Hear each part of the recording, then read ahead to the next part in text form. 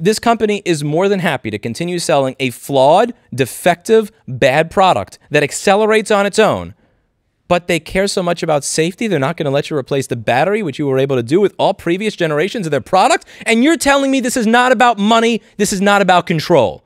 Bullshit. This is 110% about money this is 110% about control, being able to control who services the product, being able to control where you buy your parts from, being able to control who you pay for service, them, and above all, being able to control what you do with the devices that you purchase. These people have no attention to detail. They don't even know the difference between spelling S T A K E and S T E A K. And you're supposed to trust these fuck faces to do battery replacements for you because nobody else can. Fuck out of here. Hey, everybody, how's it going? I hope you're having a lovely day.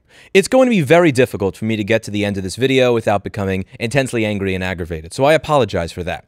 A few weeks ago, I did a video on a company that, in my opinion, is even worse than Apple. That company is Future Motion, and they make something called the One Wheel Electric Skateboard. It has one wheel, you get on it like a skateboard, and it is a small electric vehicle. You can use it to get around town. They're really cool. Again, I personally prefer e bikes, but to each their own. Now, this company did something recently that is very different from what they were doing six years ago. Six years ago, if the battery died in your device, you could just replace the battery in your device and get on your way. In this new device, if you attempt to unplug the battery from the BMS to actually replace it, because the battery is a wear part, it is not like a resistor, it is not like a chipset, it is not like many other parts inside many of the devices we have, a lithium ion battery is guaranteed to be dead within a certain number of years. It will actually brick the device. You will get an error from the board if you just unplug the battery and plug it back in, even if the battery is in perfectly good condition. You will have to ship it back to their service center, which, by the way, they have one service center in the US. One. That's it. So you can imagine what the turnaround time is like for repairs and you can also imagine the pricing for them given that there is no competition. And I talked about that in this video here. Now, they made a response recently, and I wanted to read the response that the company made, and I also want to determine whether or not it is true with all of you and give some examples as to why, in my opinion, this company is considerably worse than Apple and deserves nobody's business and deserves to be reported to the FTC by every single one of its paying customers. So their response is this. Hey Harlock, sorry this reply isn't super personal, but copying and pasting it on a few of these threads where folks are interested in why we don't suggest modifying your one-wheel batteries. By the way, notice they don't use the word repairing, they use the word modifying, even though what people are looking to do is repair their broken scooters. But just, just keep that in mind. It is fundamentally unsafe to modify the battery or battery management system of a one-wheel. We get that a small minority of one-wheel fans are agitated about this, so let's unpack it a bit. Note the Apple language, a small minority. Or when they say, you know, a small percentage of people have this problem, when in reality, literally every single person who buys this will at one point have a dead battery.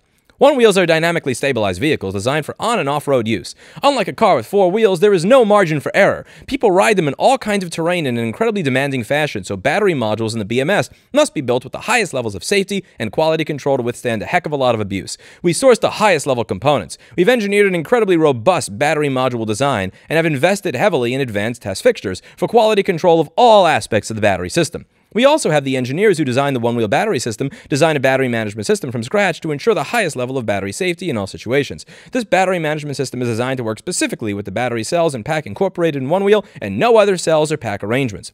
So what's the problem with letting anyone in their garage create their own battery and plug it into the board? This is like this is not like getting an oil change, both in the level of complexity nor in the level of risk associated. The same lithium uh, battery technology that enables high power and long range means the cells contain tremendous amount of energy potential and must be handled with utmost caution. The stakes are high.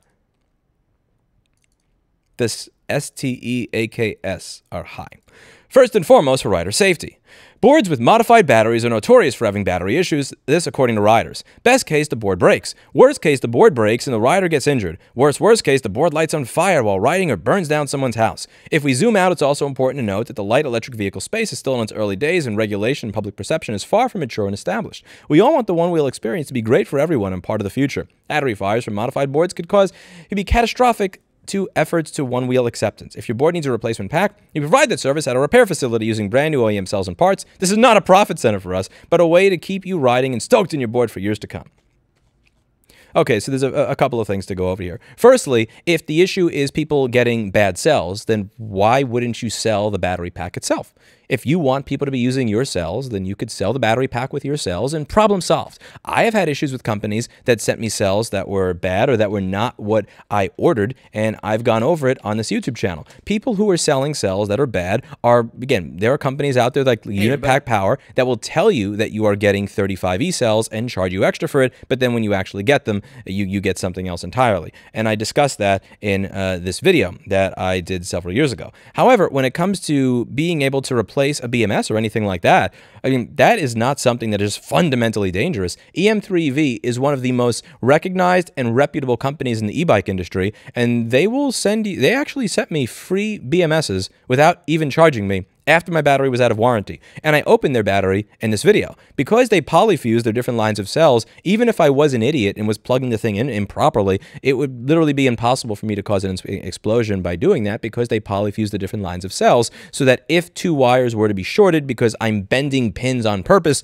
there's nothing that I could do to make that blow up. I spend a good amount of time on the e-bike Discord and I spend a good amount of time on the Endless Sphere forums. I have yet to see a single post of somebody who got a replacement BMS for their EM3ev battery ever have an issue with their battery blowing up or their device not working because they are quality batteries built by a quality company, unlike Unit Pack Power. This is not the issue at all. One of my favorite comments in this Reddit thread. They sound like an anti-repair lobby. They have no evidence that a customer replacing a battery in the board is the cause of any of their examples. Yet stock boards nosedive and are capable of catching fire. Not to mention ghost and show up dead on arrival with the GT. Ghosting is when the board accelerates without you asking the board to accelerate, which is obviously something you don't want an electric vehicle that can go 30 miles an hour to do.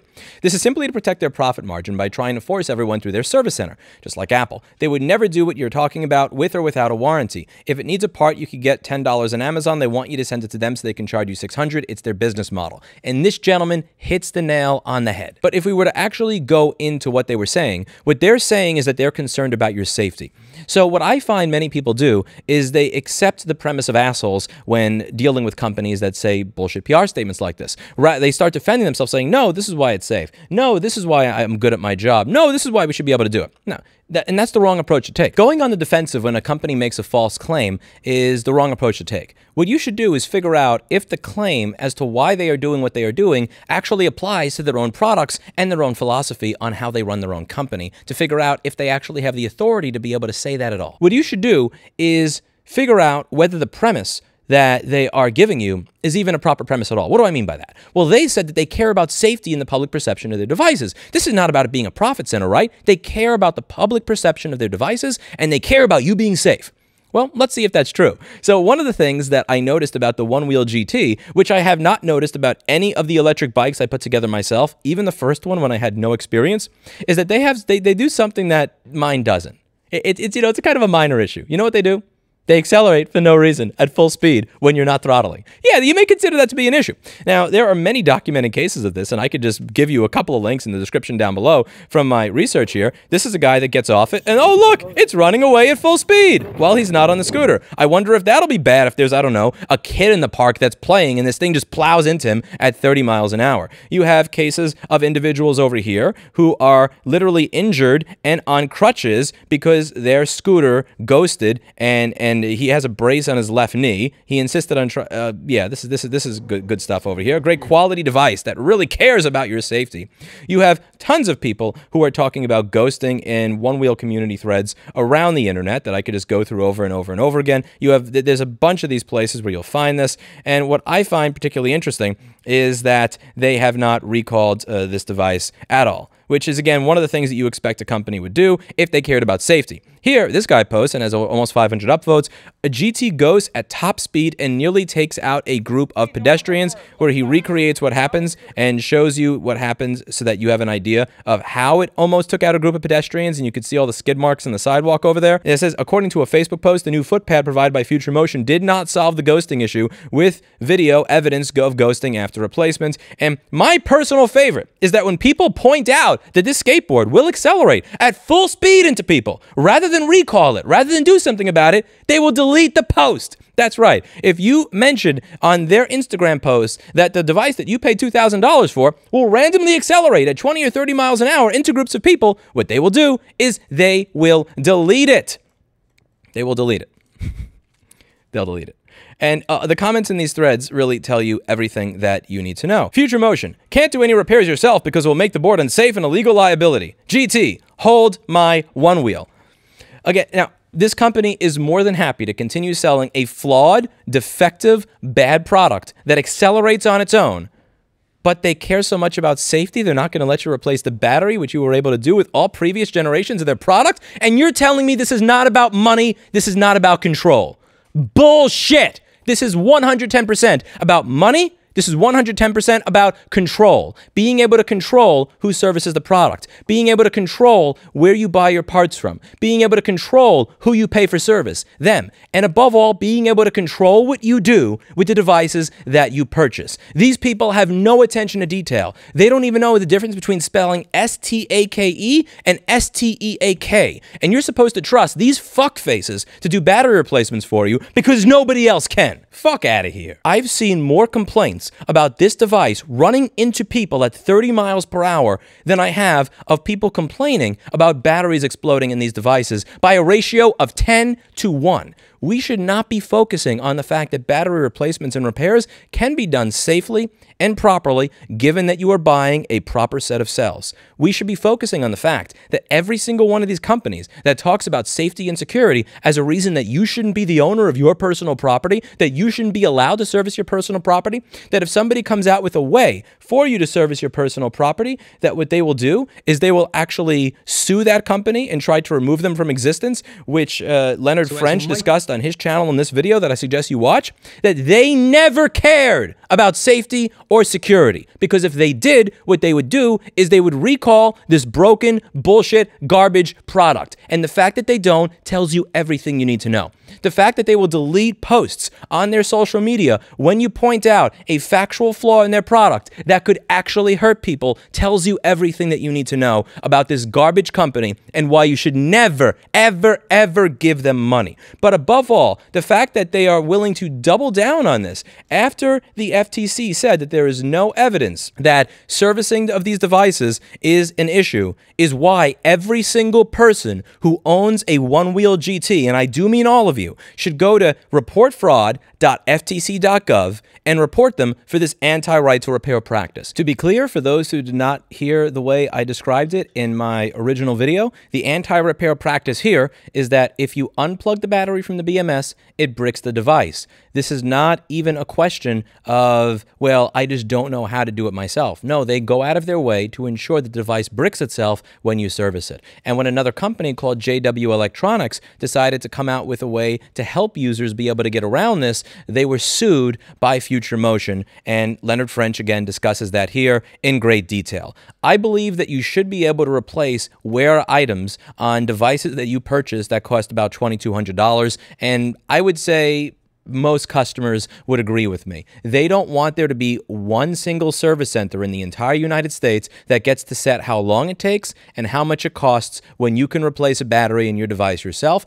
I also believe that you should be able to choose which service center does that for you, whether it is the manufacturer or an independent. It is one thing to not sell the parts, it is another thing entirely to design the product in a way where it becomes a brick if anybody but the manufacturer services it. I strongly believe that should be reported to report reportfraud.ftc.gov by everybody who owns this garbage product. There was an executive order last year put out asking the FTC to come up with rules regarding right to repair. They have been tasked with this. We have been interfacing with them on this for quite a while, and what we need is input from all of you. If every single person in the community who watches this video does something, maybe something will actually get done. And if it doesn't get done, then at least we'll figure out that the FTC is toothless. But we're not going to figure that out and we're not going to make any progress unless people stand up and stop tolerating this level of bullshit.